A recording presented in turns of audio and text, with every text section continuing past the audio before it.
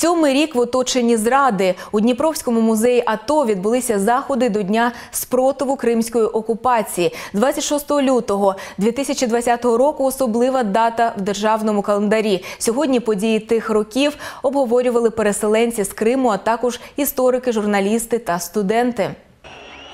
26 лютого 2014 року. Активні події на Київському майдані добігали кінця. З країни тікав президент. Тоді проукраїнська більшість кримчан, майже 15 тисяч людей, зібралися під стінами Верховної Ради Криму.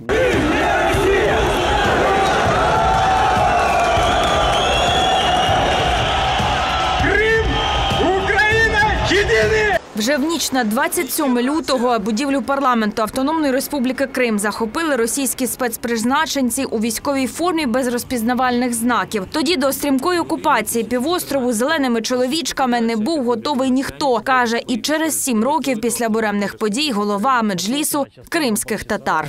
Кримське суспільство, подавляючи своєї більшості, воно не було проросійським, і воно не хотіло і воно не здійснювало зусиль для того, щоб що зробити таке, щоб приєднатися до Росії, і не допускали такої думки, що подавляюча більшість керівництва правоохоронних органів України в Криму вони вже перейшли на той бік.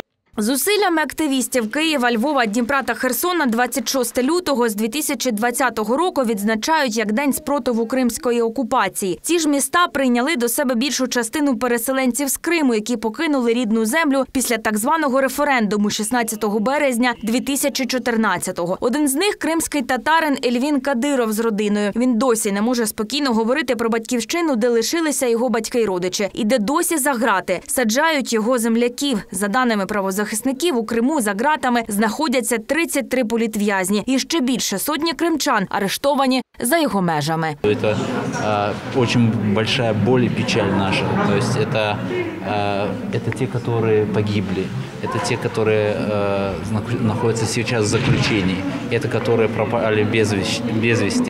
На заході, який у музеї АТО спільно організували представники кримсько-татарського земляцтва та історики, переглядали хроніку подій, згадували та обговорювали перспективи майбутнього. Анексія Криму відбувалася не один раз, кажуть історики, але повернути Крим все ж можна. Переконаний історик Ігор Кочергін. Необхідно працювати з свідомістю людей, е, не тільки е, юних зовсім, а й в принципі молодих. Я думаю, і за старшими в принципі можна говорити. Це має бути інформаційна робота доволі потужна. Е, Навіть агітація, ну де це. Має сенс, так Е, це мають працювати не тільки на книжки, тому що е, книжки це лише один спектр, а багато працювати телебачення, е, художні фільми, навіть мультфільми.